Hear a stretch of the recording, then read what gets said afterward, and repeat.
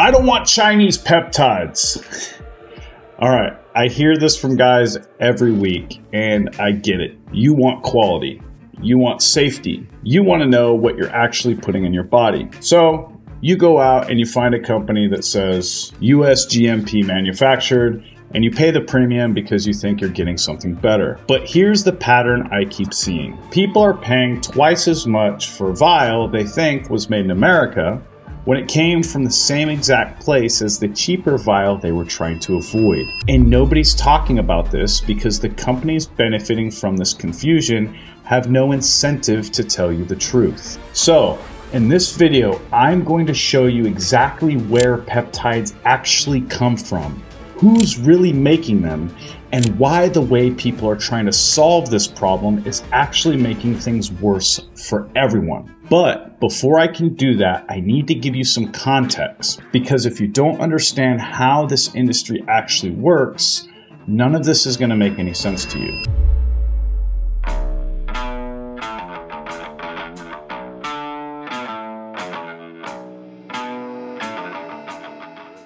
So look, I've been in the gray market peptide and anabolic space since around 2002.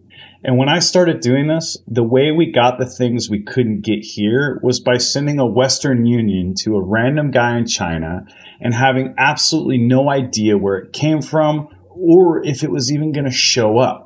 You'd send your money, and then three to five weeks later, a box would show up from DHL or some random courier, and you had no idea if you actually got what you paid for. There were no COAs, there was no third party testing, there was no customer service. You wired money to a stranger, and you hoped for the best. So when I see people today who are discovering peptides for the first time, demanding pharmaceutical grade reassurance while expecting to pay Chinese gray market prices and complaining that they can't verify purity to their satisfaction, I have to be honest with you. That expectation is delusional. And I get it. You didn't know. Nobody explained this to you. And by me making this video, I'm actually blowing the lid on an entire industry that is out to get your money and taking advantage of you. So let me show you how this industry actually works and why the current approach is destroying the very thing people are trying to protect. So let's start with the basics of how peptides are actually made. Peptides are chains of amino acids that get built one at a time through a process called solid phase peptide synthesis. Each amino acid gets attached to a resin, protected, washed, and then one is added. And you repeat that cycle for every single amino acid. Then the peptide gets cleaved from the resin and purified through a process called HPLC. Now, Here's why this matters. This isn't like testosterone or anabolic steroids where you can buy raw powder from China and brew it in your garage. Plenty of guys have done exactly that for decades with testosterone.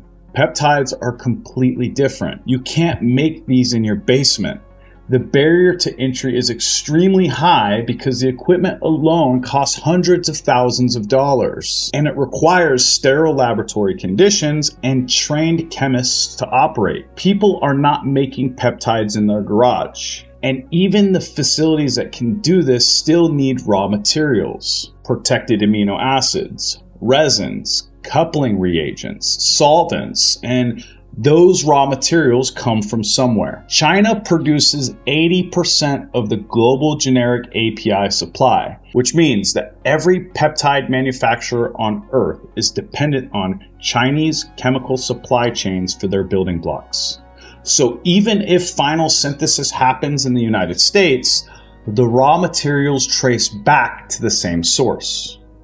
So now that you understand how peptides are made, let me show you who's actually making them in the United States. There are about five facilities in the entire country that manufacture peptides at scale. You have Corden Pharma in Boulder, Colorado, with about 300 employees and 10,000 liters of reactor capacity. You have AmbioPharm, which operates facilities in both South Carolina and Shanghai. You have CPC Scientific, which is primarily based in Hangzhou, China, and is building a California facility that won't even be operational until 2026. You have SK Pharmteco in California, which is also coming online in 2026. And you have Bachem and Cambrex doing pharmaceutical API production. Now, here's the key. These facilities are contracted to pharmaceutical companies. They produce peptides for FDA approved drugs and clinical trials worth millions of dollars. They serve compounding pharmacy distributors like PCCA, and their production is scheduled months in advance through multi million dollar contracts. These facilities are not fielding orders for 500 vials from ResearchPeptidesUSA.com because US GMP production costs hundreds to thousands of dollars per gram. So if a company is selling you a 10 milligram vial for $50 and still making profit, that vial did not come from a US GMP facility because the economics are impossible and the mass supply does not add up. So if there are only five facilities and none of them are selling to research peptide websites, then where are these companies getting their peptides? Chinese manufacturers offer OEM and ODM services where you can buy bulk peptide and get custom branding with your label on the vial. Some platforms have zero minimum orders, and there are over 190 peptides available for private labeling. This is not a secret. You can actually find these services on Alibaba and madeinchina.com right now. So when a company claims that their peptides are made in the USA, what they actually mean is one of four things.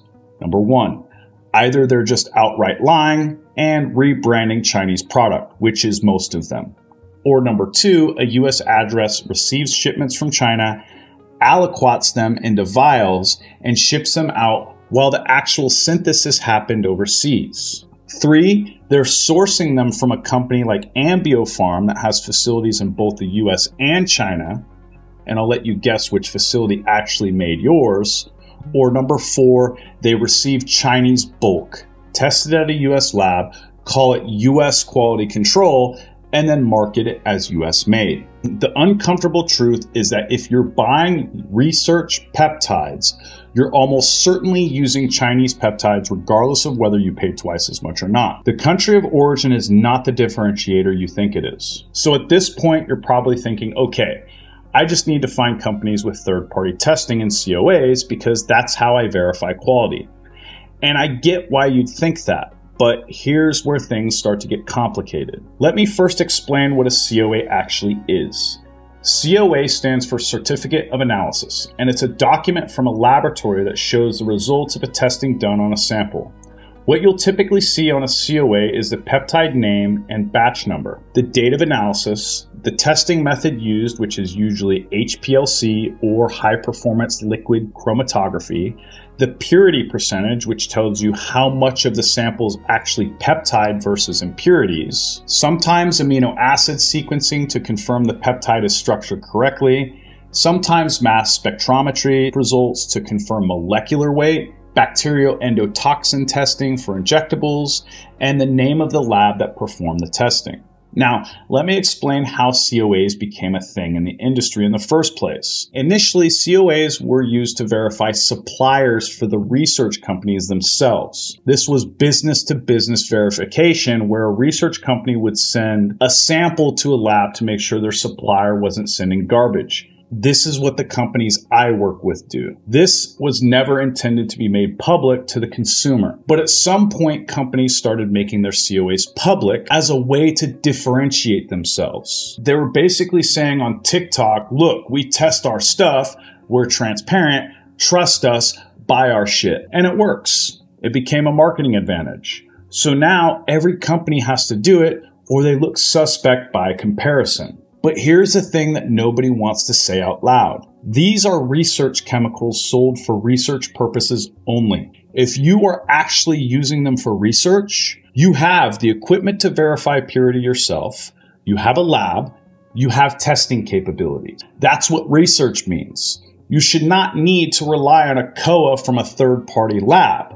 And the fact that consumers are demanding public COAs is an admission that they're not using these for research. And everybody knows this, but nobody says it. And then you have content creators on social media talking about purity and heavy metals and contamination, creating fear content because fear drives engagement. These issues are far less common than people realize. But fear content gets views, so creators make more of it, and it creates noise in the space that doesn't actually serve the consumer. It just makes everyone more paranoid while providing no real solutions. Here's what's really happening.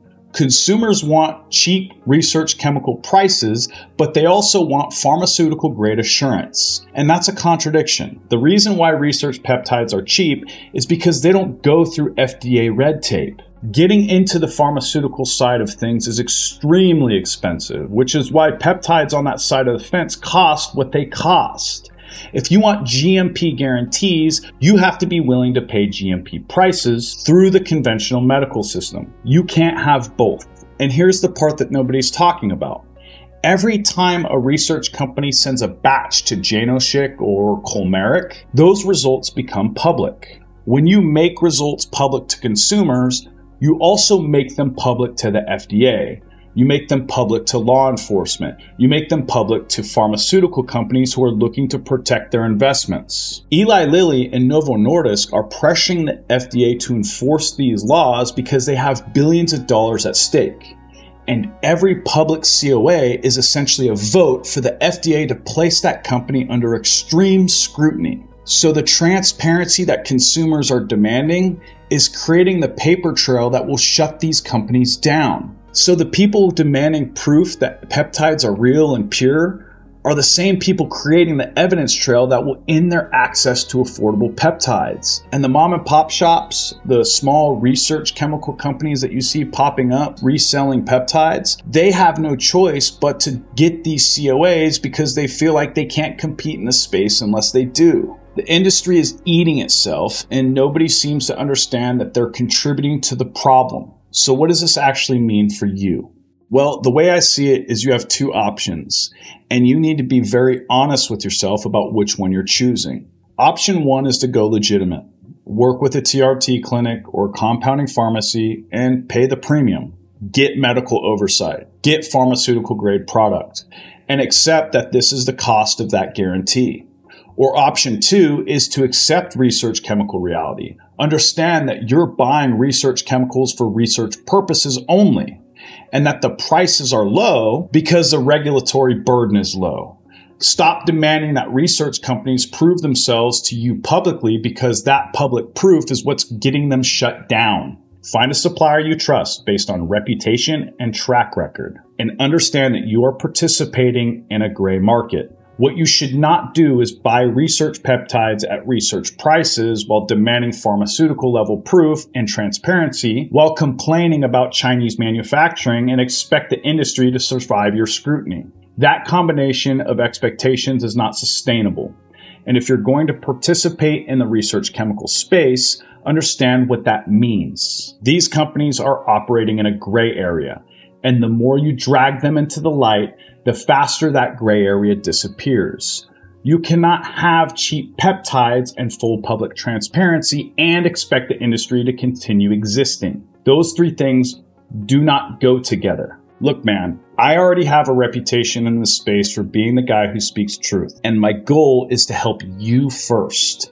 I've been in the fitness industry selling coaching for nearly a decade, and I can tell you that there are very few creators businesses and coaches out there who actually have the best interest of their clients at heart. My goal is and always has been to place the consumer first. And I wouldn't be providing this information unless I genuinely cared. I want to look out for you and your best interest while helping you stay informed so that you can understand what you're doing rather than just following trends promoted on the internet by creators and people trying to take your money. So, if you want help staying up to date on peptide research and how to navigate this space responsibly, there's a link in the description of this video to join my free school community where I share clear breakdowns of studies, practical strategies, and resources that make all this sustainable and easy to follow. All you have to do to join is just tap the link to sign up for a free account and we'll get you access. One more thing, make sure you drop your questions in the comments below and subscribe to the channel if you want more real world insights on supplements, peptides, and proven methods to get lean and strong the right way.